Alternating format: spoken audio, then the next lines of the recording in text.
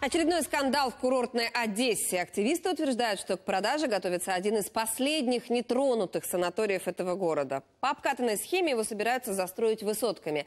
Так ли это и можно ли спасти здравницу, выясняли наши корреспонденты.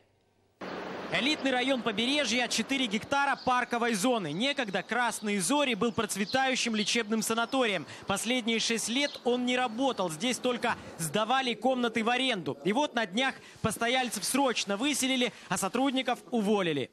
Как видите, разруха и все, кто что, что мог забрать свое, забирал. В Укрпрофздравнице, которая владеет санаторием, причины увольнения людям не назвали. Бывший охранник лишь пересказывает наиболее обсуждаемые предположения. Слышали только, что кто-то выкупил. Какая-то строительная компания. Этой версии придерживается и медсестра Светлана Чернецкая. Она проработала здесь почти полвека. Утверждает, на протяжении десятилетия санаторий специально банкротило его же руководство. Резали металл, вывозили оборудование. То же самое, мол, сейчас делает новый директор. Это все делалось целенаправленно? Конечно, конечно. А сейчас бьют окна. Он специально это сделал. Охрану снял. Он специально это сделал, чтобы угробить полностью, чтобы продать это. Местные жители организовали митинг. Опасаются, красные зори повторят судьбу десятков других таких же одесских санаториев, на землях которых теперь стоят многоэтажки и коттеджные поселки. Дескать, схема, в принципе, везде одинаковая. Сначала нужно довести предприятие до ручки.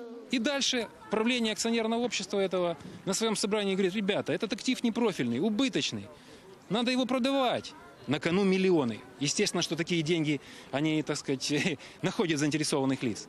Директор санатория, а он также пришел на митинг, все эти версии называет беспочвенными домыслами. Мол, наоборот, Укрпрофздравница пытается спасти объект от продажи. Говорит, санаторий погряз в искусственно созданных долгах и судебных исках. Вот поэтому и решили остановить работу и провести аудит. Правда, что планируют делать дальше с красными зорями, не говорит, ссылается на начальство. Есть понятие финансово-экономической деятельности, которое не всегда может быть публичным. Я нанятый исполнитель. У меня есть э, очень много начальников в Киеве. Они принимают решения окончательно. Мы пытались получить комментарий у руководителей Укрпрофздравницы, но сегодня выходной день. Никому из них не удалось даже дозвониться. Активисты, между тем, намерены следить за событиями вокруг Красных Зорь. И на всякий случай предупредили, готовы к акциям протеста. Андрей Анастасов, Игорь Миханошин. Подробности телеканал Интер, Одесса.